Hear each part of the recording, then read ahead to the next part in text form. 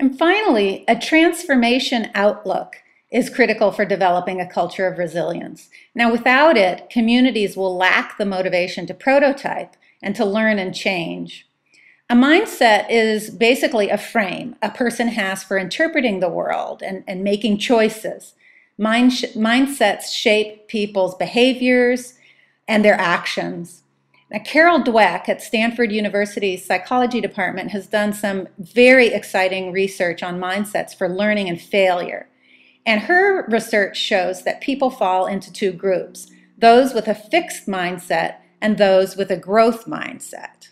The fixed mindset people believe that personal qualities and talents and abilities are set in stone. You either have them or you don't.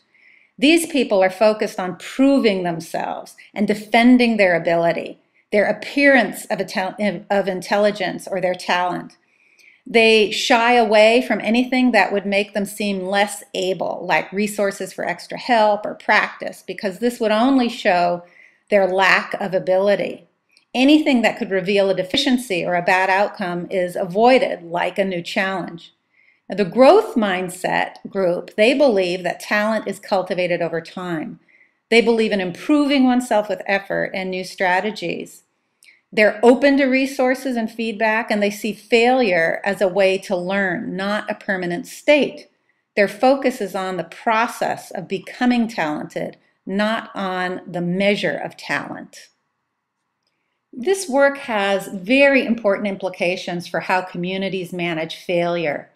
The growth mindset people see failure as an action, not as an identity. They say, I failed, not I'm a failure. And that is a big difference. If failure is the result of actions, then different actions can be taken to improve performance, like finding new resources, developing new strategies, uh, finding new supportive relationships. It opens the door to feedback from others about how and what to do next. As an action, failure is an integral part of learning and development. Now, as part of her growth mindset training for students, Dweck shows students how their brains actually grow connections and get bigger during challenging problems when they're working on tough things, even when they fail. And this relates to another important implication um, of this work for reward systems.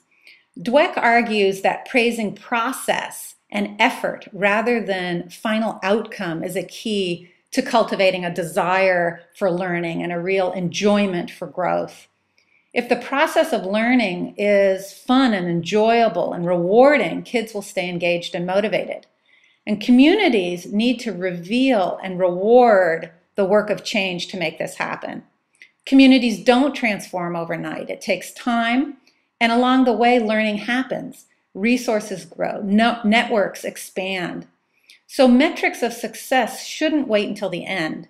The process of transformation needs to be revealed so that the community can engage with it as it's happening. A community's transformation outlook needs to be supported by a deep value for interdependence.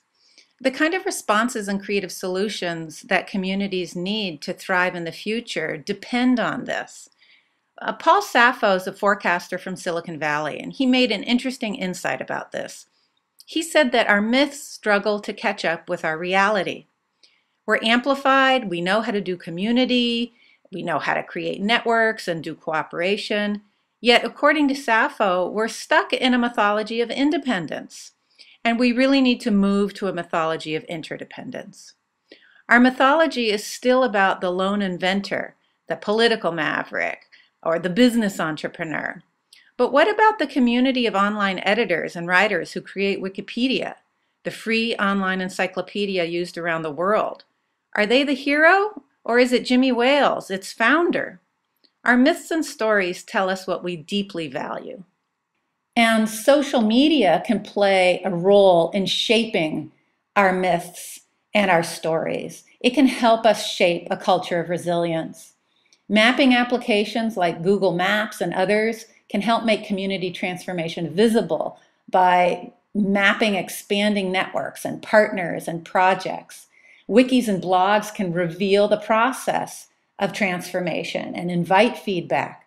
The City of Melbourne, Australia, has a website, Future Melbourne, that does this for its strategic planning process and governance activities. When you go through it, you're literally seeing the community's collective brain get bigger. You're seeing thinking and learning in action transpire over blog posts and photos.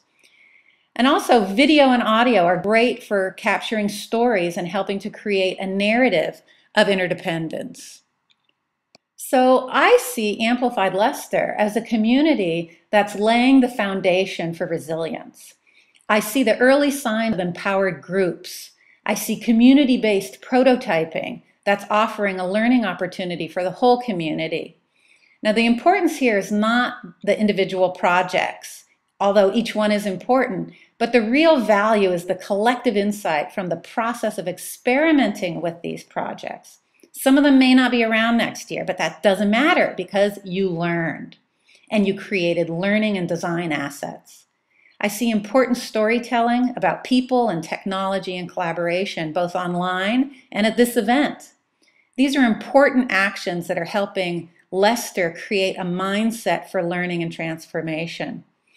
I think Amplified Leicester has clearly taken the first important step in responding to the resilience imperative this is a great contribution to the city and to other communities.